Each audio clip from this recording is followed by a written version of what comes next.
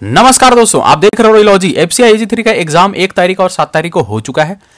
बहुत सारे शिफ्ट्स में नेशनल पार्क से क्वेश्चन पूछे गए। तो एक क्वेश्चन समझिए, इससे पक्का रहता ही है, क्योंकि टोटल 104 नेशनल पार्क है ऑल ओवर इंडिया में। तो ऑब्वियस सी बात है कि इससे क्वेश्चन बहुत सारे बनते हैं और तुरंत याद हो पाना मुश्किल है।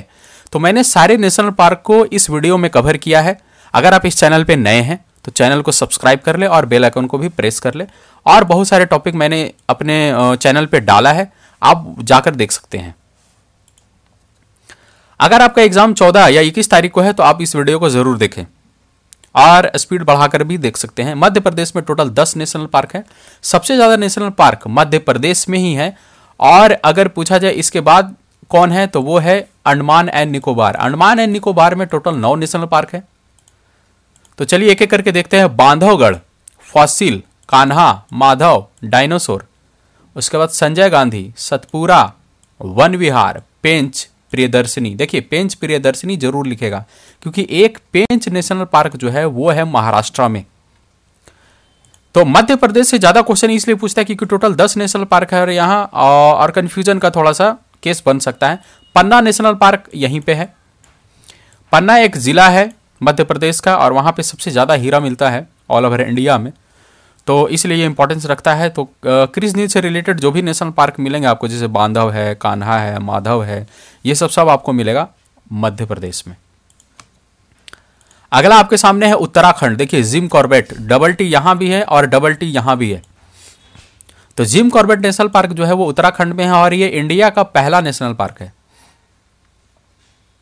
उसके बाद है गंगोत्री, गोविंद पशु विहार, नंदा देवी, ये नंदा देवी पूछता है। और राजा जी। राजा जी नेशनल पार्क, उसके बाद valley of flowers.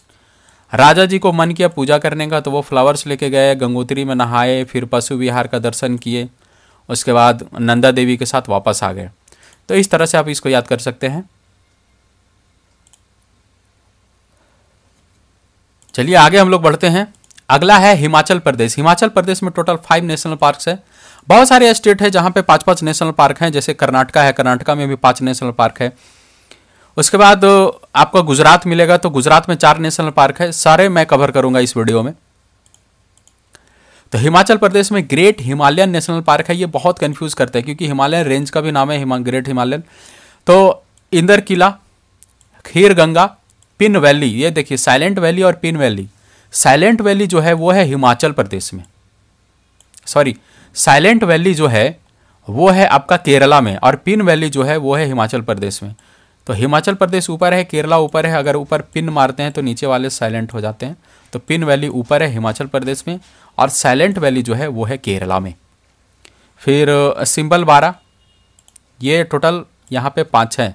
उसके बाद बात करते हैं केरला का तो केरला में देखिए मैंने आपको बोला साइलेंट वैली।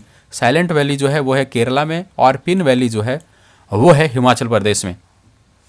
अन्नामुड़ी और इरावी कुल्लम फिर मत्थी केटम फिर पंपाडुम सोला सोला करके जो भी होगा वो केरला में होगा, उसके बाद पेरियार।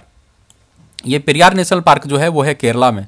देखिए, आपको तीन तरह के नेशनल पार्क जो है, सिमिलर टाइप के ऐसे सुनने में थोड़ा होमोटोनस टाइप का लगता है। पेंच है, फिर पेरियार है, उसके बाद पेंच प्रियदर्शनी है। पेंच प्रियदर्शनी जो है, वो है हिमाचल, वो है मध्य प्रदेश में। पेंच प्रियदर्शनी जो है, वो है मध्य प्रदेश में।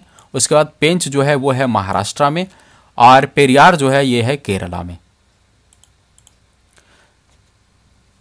अगला जो है, वो है राजस्थान। राजस्थान में मुकुंदरा हिल्स है, डेजर्ट है। सिर्फ़ डेजर्ट अगर लिख दे तो आप कंफ्यूज मत होइएगा। डेजर्ट नेशनल पार्क का नाम है, जो राजस्थान में है। उसके बाद केवला देवघाना नेशनल पार्क, ये राजस्थान में, ये बहुत पूछता है, बहुत इंपॉर्टेंट है। उसके बाद रणथम्बोर ये भी इंपॉर्टेंट है।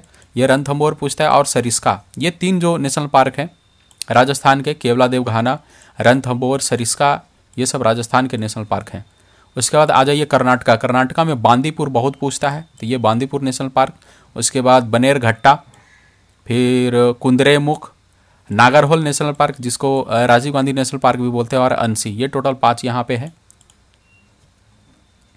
कुछ ऐसे स्टेट है जहाँ पे सिंगल सिंगल नेशनल पार्क है, वो भी मैं आगे कवर करूँगा।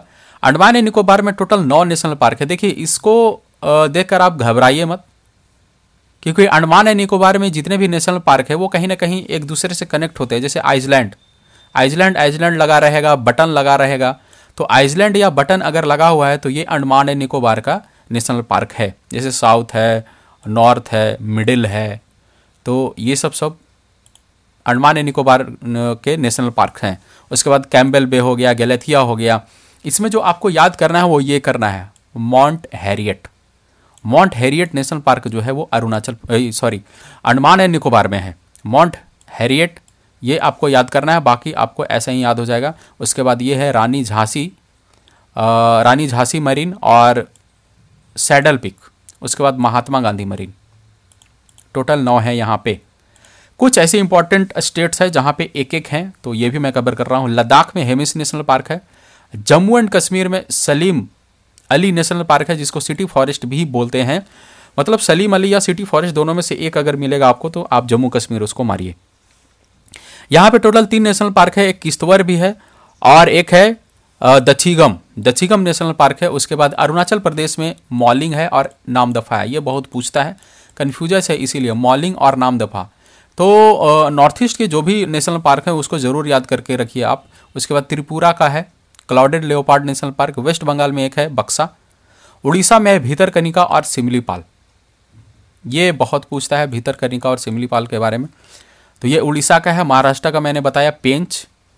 उसके बाद गोवा अगर आप पहुँच जाएँगे तो भगवान महावीर मॉलिन नेशनल पार्क है ये। गुजरात में गिर है और ब्लैक बक है।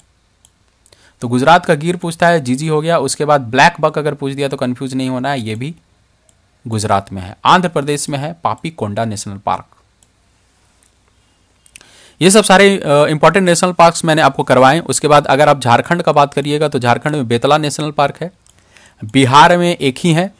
बिहार में एक ही नेशनल पार्क है, जिसको वाल्मीकि नेशनल पार्क बोलते हैं। उसके बाद उत्तर प्रदेश उतना बड़ा है, मगर वहाँ भी एक ही है, जो है दुधवा नेशनल पार्क तो सारे नेशनल पार्क मैंने कवर किए हैं इस वीडियो के माध्यम से। उसके बाद छत्तीसगढ़ आपका छूट रहा है।